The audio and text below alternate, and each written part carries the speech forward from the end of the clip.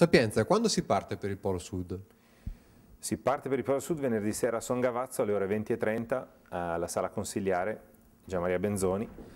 e mh, mm, ci sarà ospite Aldo Scaiano che è il diciamo, responsabile dell'associazione Circolo Polare, è un'associazione molto importante alla quale è stata affidata nel 2011-2012 l'organizzazione di diversi eventi in tutta Italia legati ai festeggiamenti del giubileo del grande esploratore norvegese Fridtjof Nansen, eh, ma anche al raggiungimento del Polo Sud da parte del grande esploratore norvegese Roald Amundsen,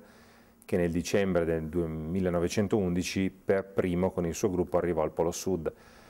È la famosa storia della cosiddetta gara per il polo, come è stata poi eh, definita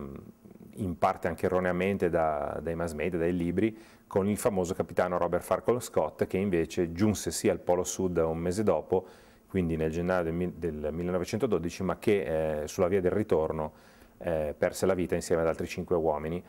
Ed è fra l'altro questa cosa, i suoi famosi diari, sono, io sono il traduttore che, che li ha ripubblicati due anni fa per la casa editrice Carte Scoperte,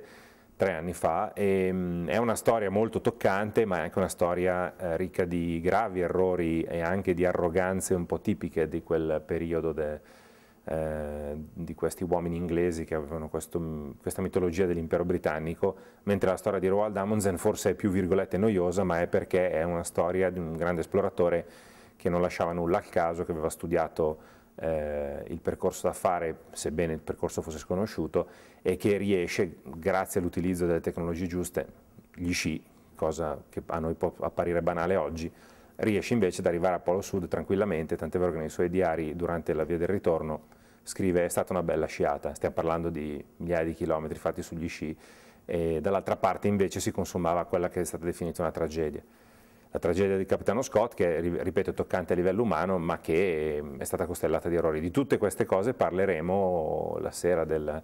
di, di, venerdì 9 marzo a Son Gavazzo con Aldo Scaiano e, mm, in maniera molto tranquilla, non è una questione di creare dei campi o delle fazioni, però è anche vero che sono stati un po' mm, fittiziamente creati probabilmente per vendere più libri o, o, giornali, ma